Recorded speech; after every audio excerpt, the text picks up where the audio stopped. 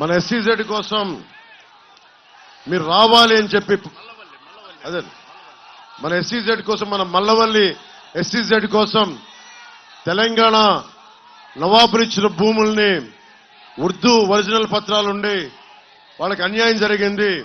Mallapalli SEZ వల్ల మీరు రావాలి అని చెప్పి నా కోసం పని కట్టుకొని వచ్చిన చలమలశెట్టి రమేష్ గారికి గన్నవరం నియోజకవర్గ సమస్యల్ని జనసేనకి ముందుండి తీసుకొచ్చిన చలమలశెట్టి రమేష్ గారికి మనస్ఫూర్తిగా నా హృదయపూర్వక నమస్కారాలు. అలాగే BJP incharge doctor Gannavaram incharge B- doctor Phani గారికి ముద్రపోయిన వెంకటేశ్వరరావు గారికి టీడీపీ పరిశీలకులు గన్నవరానికి గరికిపాటి శివ గారికి జేఎస్పీ ఎలక్షన్ కోఆర్డినేటర్ వారికి కూడా నా హృదయపూర్వక నమస్కారాలు.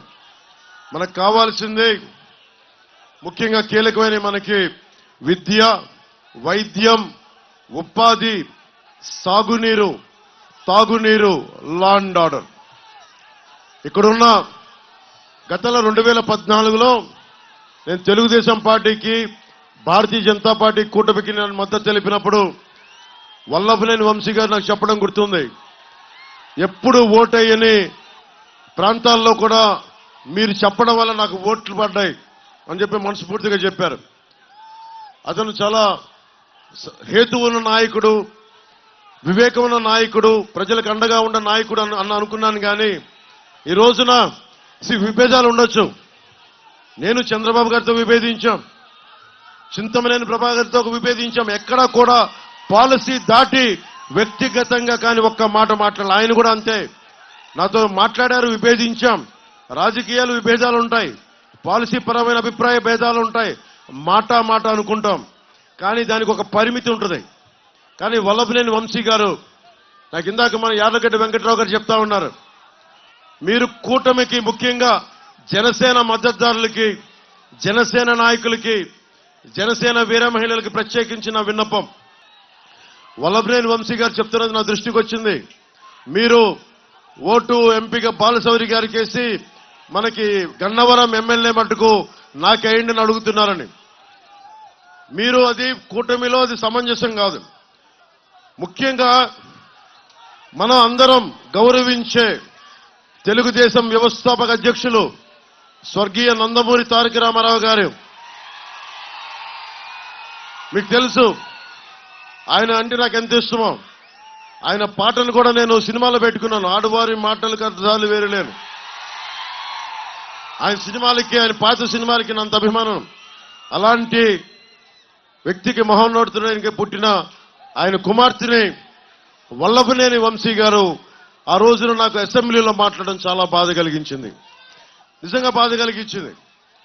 అరే మీకు చంద్రబాబు గారితో విభేదాలు ఉండటం వేరు లోకేష్ గారితో విభేదాలు ఉండటం వేరు కానీ వచ్చి నిజంగా పాపం భువనేశ్వరి గారిని ఆ విధంగా కించపరిచేలా మాట్లాడటం నాకు చాలా చాలా బాధ కలిగించింది. జనసేన ఊహించుకోండి. భువనేశ్వరుని గారిని అంటే నా సోదరుని అన్నట్టే. భువనేశ్వరుని గారిని అన్నట్టు నా సోదరుని అన్నట్టే.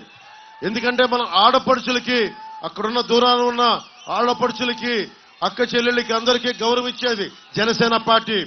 నాయకులతో అభిప్రాయ భేదాలు ఉండొచ్చు. వైసీపీ నాయకులతో అభిప్రాయ భేదాలు ఉండొచ్చు. జగన్ గారితో కూడా విభేదాలు ఉన్నాయి. కానీ ఎప్పుడు కూడా వారి సతీమణిని ఎప్పుడు కించపరిచేలా మాట్లాడలేదు. తగ్గించం. అది మన సంస్కారం. మన పెద్దలు నేర్పించిన సంస్కారం. కానీ వల్లభనేనిగా వంశీ గారికి ఓటు కనుక జనసేన మద్దతుదారులు వేస్తే స్త్రీని అగౌరవపరిచిన వ్యక్తికి ఆడవారిని అగౌరవపరిచిన వ్యక్తికి మా సోదరుని అగౌరవపరిచిన వ్యక్తికి మనం మద్దతు తెలిపినట్టే. దయచేసి అక్కడెక్కడో జరిగింది మనకు కాదు కదా అనుకోవద్దు. ఒకసారి ఆ నైజం ఉన్నవాళ్ళు ఆడపడుచుని ఎక్కడైనా సరే అగౌరవపరిచే వాళ్ళు ఎక్కడైనా ఇంకెవరైనా అగౌరవపరుస్తారు మీ కుటుంబ సభ్యుల్ని అగౌరవపరచచ్చు మీ అక్క చెల్లిని అగౌరవపరచచ్చు సరైన వ్యక్తిని ఎంచుకోవడం చాలా చాలా అవసరం. యార్లగడ్డ వెంకట్రావు గారు బూతులు తిట్టడం రాదు ఆయన చేసిన తప్పల్లా. ఆయన చేసిన తప్పల్లా సంస్కారంగా ఉండటం గౌరవ మర్యాదలతో ఉండటం రాజకీయాన్ని రాజకీయ విధానాలతో చూడటం రాజకీయ విభేదాలు ఉంటే పద్ధతిగా మాట్లాడటం విమర్శించడం అంతేకాని దిగజారిపోయి బూతులు తిట్టడం నీచంగా దిగజారడం ఆయనకు తెలియదు ఆయన చేసిన తప్పదే. పోయినసారి కూడా రెండు వేల పంతొమ్మిదిలో చాలా రెండు వందల మూడు వందల ఓట్ల తేడాతో ఓడిపోయారు. కానీ జనసేన మనలాగా ఆయన పారిపోలా నిలబడ్డారు ఓడిపోయినా కానీ ఇదే నియోజకవర్గం ప్రజల కోసం బలంగా ఉన్నారు. ఎన్ఆర్ఐ వెళ్ళిపోయి ఉండొచ్చు అమెరికాకి వెళ్ళిపోయి ఉండొచ్చు సుఖంగా ఉండొచ్చు కానీ లేదు. నిలబడాలి. మన నియోజకవర్గానికి ఓడినా నిలబడాలని చెప్పి పార్టీని కూడా వదల్లా. అలాంటి వ్యక్తిని నువ్వు మాట్లాడితే పవన్ కళ్యాణ్ గారిని తిట్టు చంద్రబాబు గారిని తిట్టు పవన్ కళ్యాణ్ తిట్టు వాళ్ళ ఇంట్లో వాళ్ళని తిట్టు అంటే అది నా సంస్కారం కాదు. నేను అలాంటి దిగజారుడు పనులు చేయలేను. అన్ని మాటలందుకు ఆయన ఆత్మాభిమానంతో ఆత్మగౌరవంతో బయటకు వచ్చేశారు. అలాంటి వ్యక్తికి ఈ రోజున నేను రెండు చేతులెత్తి మీకు ఆర్థిస్తున్నాను అభ్యర్థిస్తున్నాను. ముఖ్యంగా జనసేన మద్దతుదారులకి బాధ్యత మన మీద ఉంది. మన మీద బాధ్యత ఉంది. నేను తగ్గి మిమ్మల్ని అందరినీ గెలిపించదనుకున్నాను ఇక్కడ. నేను తగ్గాను. ఎందుకు తగ్గానంటే రేపొద్దున ఈ రోజున ఇప్పుడు మన గన్నవరం నియోజకవర్గం నుంచి ప్రజాప్రతినిధులు విద్యావంతులు సామాజికవేత్తలు నాకు ఒక విజ్ఞాపన పత్రాన్ని ఇచ్చారు. దాంట్లో ముఖ్యంగా వాళ్ళు అడిగింది ఒకటే. మీ అందరి భవిష్యత్తు కోసం అడిగారు. బందర్ పోర్ట్ని అభివృద్ధి చేయమని చెప్పండి చేయండి. Machilipatnam to Kalluru bypass NH రెండు వందల పదహారు హైవేని ఏర్పాటు చేయండి. చట్ట ప్రకారం భూములు కోల్పోయిన వారికి నష్టపరిహారం ఇప్పించండి. గన్నవరం ఎయిర్పోర్ట్స్ కోసం సేకరించిన భూములకి ల్యాండ్ పూలింగ్లో అమరావతిలో ప్లాట్లు కేటాయించండి. కౌలు బకాయిలు ఇప్పించండి అడుగుతా ఉన్నారు.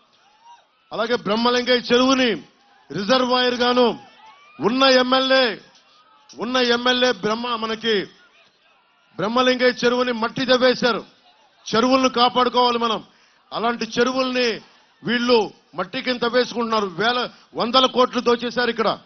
కానీ బ్రహ్మలింగయ్య చెరువుని విద్యావంతులు మేధావులు సామాజికవేత్తలు అడుగుతా ఉన్నారు. బ్రహ్మలింగయ్య చెరువుని రిజర్వాయర్ గాను పర్యాటక అభివృద్ధి గాను మరియు సాగునీరు తాగునీరుని అందించమని కోరుకుంటా ఉన్నారు. గన్నవరంలో ఐటీ కారిడార్ని పెట్టండి. మనకి మల్లపల్లిలో పూర్తి స్థాయిలో పరిశ్రమలను ఏర్పాటు చేయండి. అలాగే విజయవాడ ఏలూరు మధ్యలో railway line crossing number thirty three four వద్ద అండర్ పాస్ ఏర్పాటు చేయాలి అంటే ఖచ్చితంగా అది రైల్వే లైన్ కాబట్టి మన బాలశౌరి గారు గాజు గ్లాసు గుర్తు మీద ఆయనే మాట్లాడగలరు ఇవన్నీ. ఆయన మాట మెత్తగా ఉంటుంది. గొంతెత్తితే పగిలే కొద్ది గాజు ఎంత పదులెక్కుద్ది ఆయన అంత పదులెక్కే మనిషి పదులున్న మనిషి ఆయన.